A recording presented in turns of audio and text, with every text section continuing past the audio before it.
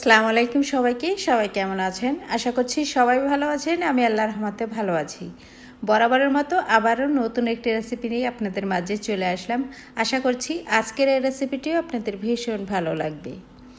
আজও আমি ব্রেড দিয়ে একটি ডেজার্ট আইটেম নিয়ে আসছি। এই রেসিপিটিও আপনাদের অনেক পছন্দ হবে। সরাসরি রেসিপিতে চলে যাব। প্রথমে আমি একটি চুলায় প্যান বসিয়ে দিয়েছি। এখানে আমি হাফ লিটার দুধ দিয়ে দিব। এবার আমি হাফ লিটার দুধ দিয়ে দিয়েছি।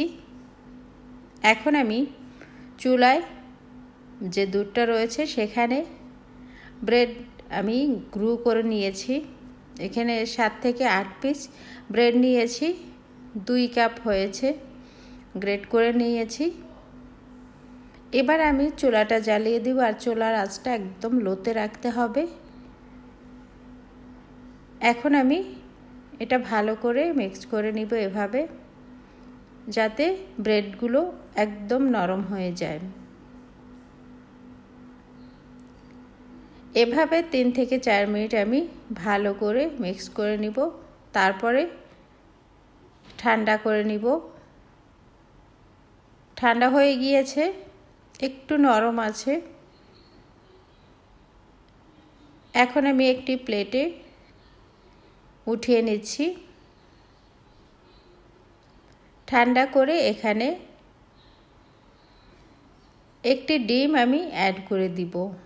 একটি ডিমের বেশির প্রয়োজন নেই, কারণ এটা নর্মালি একটু নরম রয়েছে।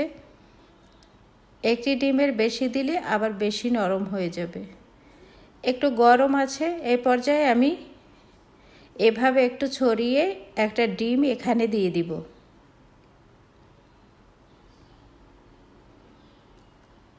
ডিমটা দেওয়ার পরে এখানে সামান্য পরিমাণের ঘি আমি দিয়ে দিব যাতে মিক্স করার সময় হাতে না লাগে। আর ঘিটা দিলে কিন্তু ফ্লেভারটাও ভালো আসে।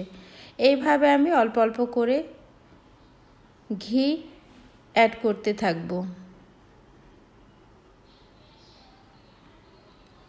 এখনও গরম আছে। সাবধানে করতে হবে। এভাবে আমি ডিমটা মিক্স করে নিয়েছি। আবারও একটু ঘি দিয়ে দিলাম যাতে হাতে না লাগে।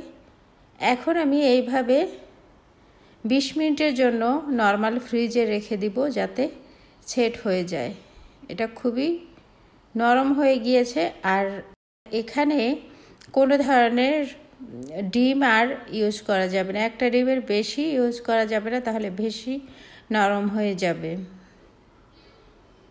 বিশ মিনিটের জন্য আমি ফ্রিজে রেখে চুলা একটি প্যান বসিয়ে দিয়েছি। এখন এখানে হাফ লিটার দুধ দিয়ে দিব। আর দিয়ে দিব এখানে দেড় কাপের মতো চিনি শিরা আছে। সেই শিরাটা আমি এখানে দিয়ে দিলাম। এক্সট্রা কোনো চিনি এখানে ইউজ করব না। এবার একটা বলক চলে আসলেই চুলাটা কমিয়ে দিতে হবে। চুলা বাড়ানো থাকলে দুধটা কিন্তু টেনে যাবে আর যখন আমি ব্রেডের শেপটা করে এখানে দিব তখন দুধ কম পড়ে যাবে। সেক্ষেত্রে এ পর্যায়ে একটা বলক চলে আসার পরেই চুলাটা একদম কমিয়ে দিতে হবে। এখন আমি ব্রেডের মিশ্রণটা এভাবে নিয়ে লম্বা লম্বা করে একটা শেপ দিয়ে নিব। আপনার ইচ্ছে করলে গোলও দিতে পারেন, যেভাবে ইচ্ছে সেভাবে দিতে পারেন। আমি একটু লম্বা টাইপ করব। এভাবে হাতে ঘি লাগিয়ে লম্বা লম্বা শেপ দিয়ে দিয়ে দিলাম। এই ডেজার্টটি খেয়ে দেখবেন কতটা টেস্টি হয়েছে আর মুখে দিলেই মিলিয়ে যায়। সবগুলো প্রায় বানানো শেষ হয়ে গিয়েছে। এখন আমি চুলার আঁচটা মিডিয়ামে রেখে ছয় থেকে ষাট মিনিট এইভাবে ফুটিয়ে নিব। ডিম দেওয়াতে এটা কিন্তু একটুও ভাঙবে না। একদম সফট হবে আর কিছুটা ফুলেও যাবে। ফুটিয়ে নিয়েছি। এবার চুলাটা বন্ধ করে আমি এ ছুইটগুলো উঠিয়ে নিব। এভাবে একটা একটা করে একটি সার্ভিং ডিশে তুলে নিচ্ছি। যাতে ভেঙে না যায়। সবগুলো যদি একসাথে ঢেলে দিই, তাহলে ভেঙে যাবে। একটা একটা করে এভাবে আমি উঠিয়ে নিচ্ছি। এখানে কিছু বাদাম, আর ওয়ান স্পুন কর্নফ্লাওয়ার দিয়ে দিলাম। এবার গুলিয়ে আমি যে দুধটা আমি আলাদা করে রেখেছি, সেই দুধে দুই মিনিটের মতো মিক্স করে আমি দুধটা পুরোটাই সার্ভিং ডিশে ঢেলে দিলাম। এই পর্যায়ে কিন্তু সার্ভ করা যাবে না। সারা রাতের জন্য আমি ফ্রিজে রেখে দিব কিছু বাদাম উপর থেকে দিয়ে। এটা সারা রাতের জন্য ফ্রিজে রেখে আপনারা যদি পরের দিন সার্ভ করেন তাহলে দেখবেন কতটা মালাইয়ের মতো হয় আর থিকনেসটা একদম আইসক্রিমের মতো হবে। তখন বুঝতে পারবেন যে কতটা টেস্টি হয়েছে। আমি সারা রাত ফ্রিজে রেখে সকালে বের করে নিয়েছি।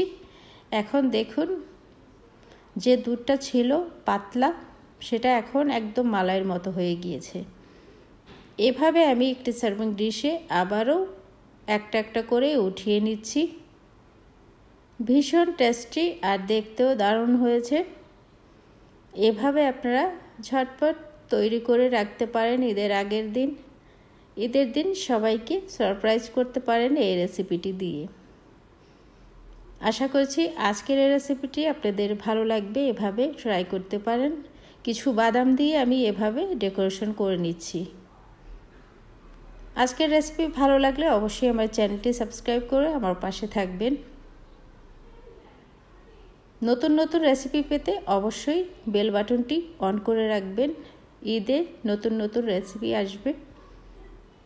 চ্যানেলের চোখ রাখতে পারেন।